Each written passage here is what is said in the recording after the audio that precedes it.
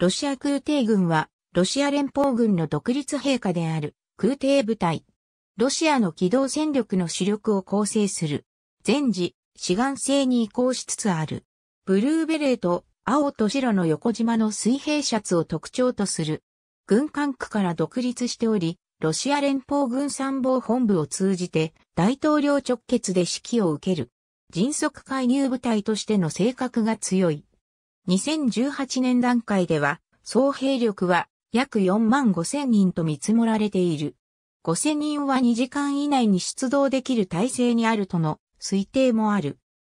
TB-3 から空挺降下する兵士たち空挺軍の歴史は、ソビエト連邦時代、ボロネジ近郊のモスクワ軍艦空軍演習において、12名からなる空挺部隊がパラシュートで降下した1930年8月2日に、その起源を遡る。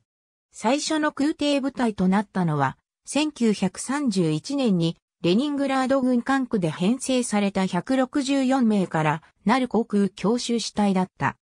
1932年、ソ連革命軍事会議決定に基づき、大規模な空挺部隊の創設が決定され、1933年3月までに、白、ロシア、ウクライナ、モスクワ及びソイボルガ軍管区に1個航空、教習主体を編成することが計画された。1941年夏までに、各1万人の5個空挺軍団の兵員充足が終了した。ソフィン戦争時、第201、第204及び第214空挺旅団が地上部隊として実戦に投入された。独ソ戦開始とともに5個空挺軍団すべてはソ連全土において戦闘に投入された。首都モスクワ郊外での逆襲中、ドイツ軍のブヤゼムスクルジェフ・ユフノフスク集団の包囲及び撃破における西部及びカリーニングラード戦線部隊への協力のために、1942年、はじめ、第4空挺軍団の空挺効果を伴う、ブヤゼムスク空挺作戦が行われた。これは、独ソ戦中最大の空挺作戦だった。ドイツ軍後方には、計1万人の空挺兵が降下した。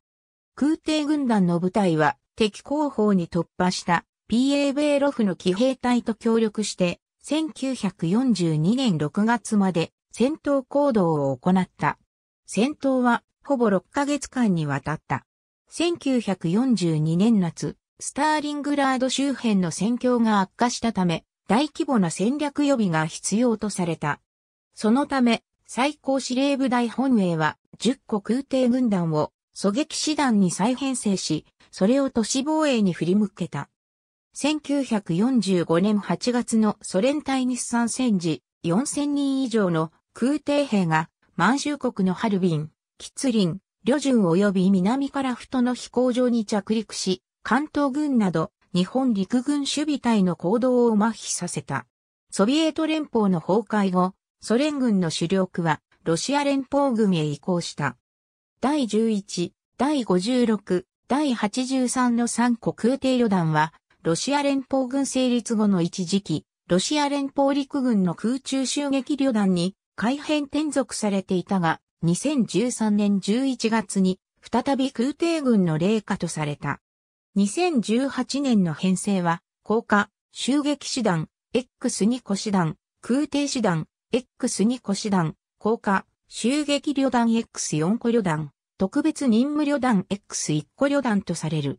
特徴的な軍服であるブルーベレーと青と白の横縞の水平シャツは第二次世界大戦で武功を挙げた海軍不評にあやかったもの。空挺軍の BTR-80 装甲兵員輸送車出展。ありがとうございます。